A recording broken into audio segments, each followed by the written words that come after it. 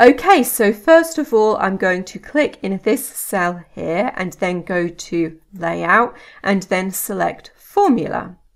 And you'll see that it automatically gives me the formula sum above, and then there are some number formats that I can choose from. So I'm going to select the currency format and OK. And now it has added these three numbers together to get me 15 pounds. If you want to do the same calculation again in a different cell, you can use the keyboard shortcut F4. And F4 is the keyboard shortcut to repeat whatever you previously did. Now, if I click in this cell here and go back to formula, you'll see that it's smart enough to work out that I now want sum left and OK. In addition to above and left, you can also use below and right. And then instead of using words, you can also use cell references. So these cell references work the same way they do in Excel. You just can't see them. So the columns are labeled A, B, C, etc. And then the rows are numbered 1, 2, 3, etc. So this is column A and this is column B. And then we have rows 1, 2, 3. So this cell here is B3.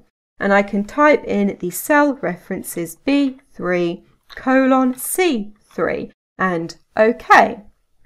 And now it is summing these two numbers here to get me 11. Then in addition to the sum formula, there are also other formulas which you can choose. And so, for example, I will use the product formula, which multiplies numbers together. And I'll type in the word above and OK. And now it is multiplying 10 and 11 to get me the number 110. If you want to update the numbers, you need to right click and select Update Field.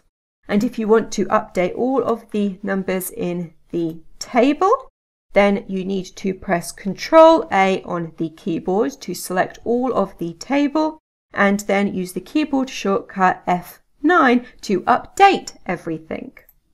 There is also the keyboard shortcut Alt F9, which will show you all of the formulas. And pressing Alt F9 again will change it back to the numbers. You can also right click on a number and select toggle field codes and that will show you the formula for just that number. Then if you want to edit a formula, you need to right click and select edit field and then select formula and it will take you back to this window where you can make changes. You can also press Alt F9 to show you the formulas and then edit the formulas here as well. And then press Alt F9 to get you back to the numbers. Now you'll see that this number hasn't changed yet. I need to press F9 to get it to update. Then there's also the keyboard shortcut Control F9, which will insert the curly brackets for you. Then you can type in whatever formula you like. And now I need to press Alt F9 twice in order to get back to the numbers. And at the moment this cell is blank, I have to press F9 in order to get it to update and show me the number. Then I can also add in a new row here and type in the number 1 and then select this and press F9 to get it to update and you'll see it's added the number 1 to it. And this works because the formula is just sum above so you can add in rows and it will still include the new numbers. Okay, so in this video I have shown you how to use formulas inside tables in Microsoft Word, and that is everything.